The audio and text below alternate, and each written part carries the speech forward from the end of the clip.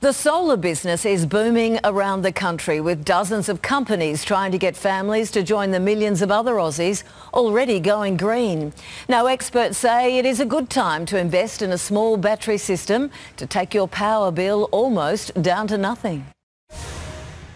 When Dean Fraser installed solar panels on his home five months ago, he decided not to buy a battery. We looked at it and thought well, it's going to take too long to pay that off. But a new smart solar battery system by Duracell is promising to make the numbers stack up.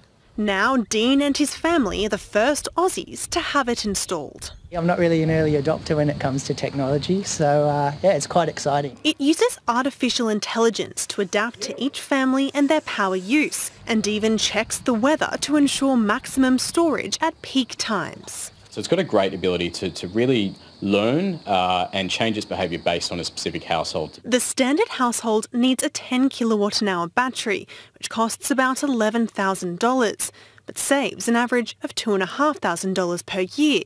Social Energy, an Australian company, is also offering a rebate of $500. And they've got an Aussie great to invest and give it a plug. Um, so any sort of savings we can get on our household bills, we should. There are plenty of other deals out there. And there's over 40 on the market at the moment. Looking at the economics of this one, it's on par with the others. With all this sunshine, it's no surprise Australia has the largest uptake in solar. More than 2.5 million homes have rooftop solar panels, but only a fraction have batteries. There are literally thousands and thousands of Australians that are already getting zero dollar bills with just solar. So you need to work out whether it'll work for you. Tallulah Thompson for 10 News First.